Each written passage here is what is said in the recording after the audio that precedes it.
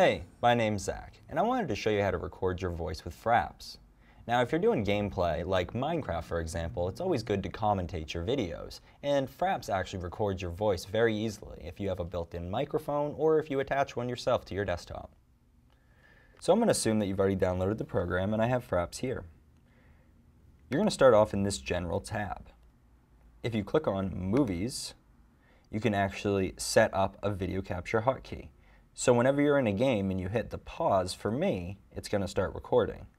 You can use like F10 or F11 if you like, but I have other screen capture software, so they actually interfere with each other. So what we're going to do next in order to record the screen is open up Minecraft. And I have Minecraft open here. And as you can see, there's numbers up here.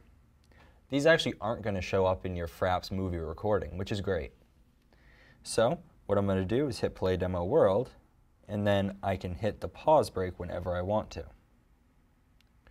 So when I hit the pause button, you'll notice that the numbers turn red. That means I'm recording.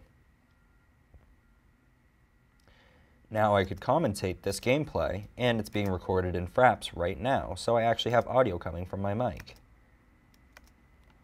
I would suggest spending a little bit of money and getting a nice microphone, like a Snowball. They're about $89.99 and you can actually set them up and have your voice recorded very clearly. It gives it really good production quality when you do that. So I'm going to show you now where the files are actually saved. So in order to stop the recording, I hit the pause break button. Now we can go into our Explorer window and up here, we'll see that it's saved in our C drive slash fraps slash movies. So we'll minus this and go to computer. So we'll click on our C drive and fraps is right here. So we'll open fraps and go to movies and we can see all the videos that we just did. And if I double click one, it'll open right up.